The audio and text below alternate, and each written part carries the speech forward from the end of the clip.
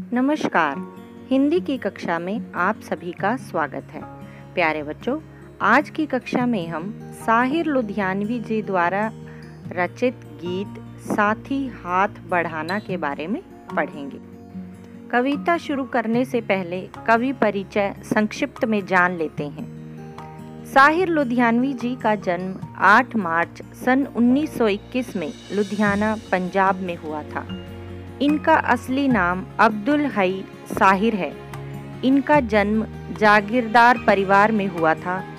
उनके पिता अत्यंत धनी व्यक्ति थे, किंतु माता पिता में अलगाव होने के कारण इन्हें अपनी माँ के साथ रहने को विवश होना पड़ा था। इन्होंने अपने दिन अत्यंत गरीबी में व्यतीत किए। इनकी शिक्षा लुधियाना के खालसा हाई स्कूल में पूरी हुई। उच्च शिक्षा प्राप्त करने के बाद इन्होंने कई छोटी छोटी नौकरियाँ की। सन 1943 में इन्होंने अपना पहला कविता का संग्रह, तलखियाँ छपवाया। सन 1945 में उन इन्हें उर्दू पत्र, अदब लतीफ़ और शाहकार का संपादक बना दिया गया। 25 अक्टूबर 1980 में इनका निधन हो गया। तो चलिए, अब अपना गीत शुरू करते हैं। साथी हाथ बढ़ाना, एक अकेला थक जाएगा, मिलकर बोझ उठाना, साथी हाथ बढ़ाना। साथी का अर्थ है दोस्त, बोझ का अर्थ होता है वज़न या भार। यह एक उत्साहवर्धक गीत है, जिसके माध्यम से कवि मेहनतकश लोगों को संबोधित करते हुए कहता है कि, व्यक्ति को मिलजुल कर काम करना चाहिए। एक व्यक्ति काम करने से थक सकता है। अर्थात, यूँ कहें कि किसी बड़े काम को करने में एक व्यक्ति को कठिनाई का अनुभव होता है। इसलिए हमें मिलजुल कर काम करना चाहिए। आगे देखिए। हम मेहनत वालों ने जब भी मिलकर कदम बढ़ाया, सागर ने रास्ता छोड़ा, पर्वत ने शीश झुकाया, फौलादी हैं सीने अपने फौलादी हैं बाहें। हम चाहें तो चट्टानों में पैदा कर दें राहें, साथ ही हाथ बढ़ाना। पर्वत का अर्थ होता है पहाड़ या पर्वत। शीश का अर्थ है सिर, फौलादी यानी लोहे के समान मज़बूत। बाहें बुझाएँ, राहें रास्ते। इन पंक्तियों में गीतकार प्रेरणा देते हुए कहते हैं कि मेहनत करने वाले लोगों ने जब भी मिलजुल कर काम किया है, तब ही उनके रास्ते की रुकावटें अपने आप दूर हो गई हैं। मिलजुल कर काम करने वाले लोगों के सामने सागर और पर्वत भी टिक नहीं पाते हैं। उनके सीने और बाहें फौलादी होती हैं और वे बड़े से बड़ा काम भी सफलतापूर्वक कर लेने की हिम्मत रखते हैं। वे तो चट्टानों में भी रास्ते बनाने जैसा कठिन कार्य भी कर लेते हैं। अतः हम सबको मिलजुल कर कार्य करना चाहिए। कहने का भाव यह है कि गीतकार ने मिलजुल कर काम करने और मेहनत के महत्व पर प्रकाश डाला है।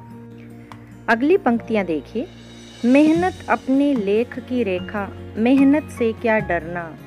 कल गैरों की खातिर की, आज अपनी खातिर करना। अपना दुख भी एक है साथी, अपना सुख भी एक। अपनी मंजिल सच की मंजिल, अपना रास्ता नेक। साथी हाथ बढ़ाना। लेख का अर्थ होता है भाग्य, गैर यानी पराया या दूसरा।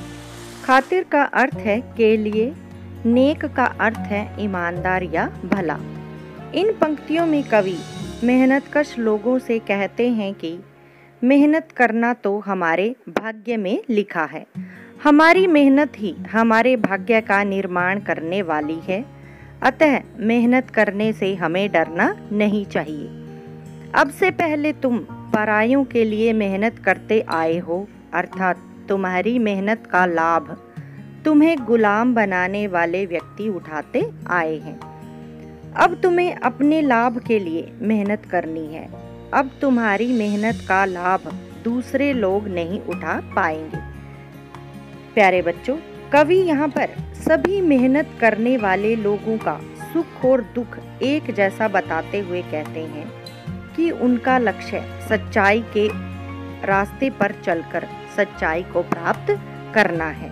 अतः सभी को मिलजुल कर काम करना चाहिए। गीतकार ने मेहनतकश लोगों को मेहनत से न डरने की सलाह दी है।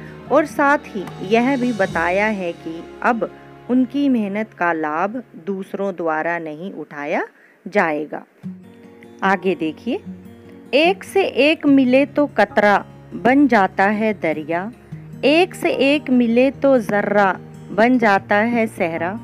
एक से एक मिले तो राई बन सकती है पर्वत। एक से एक मिले तो इंसान बस में कर ले किस्मत, साथ ही हाथ बढ़ाना।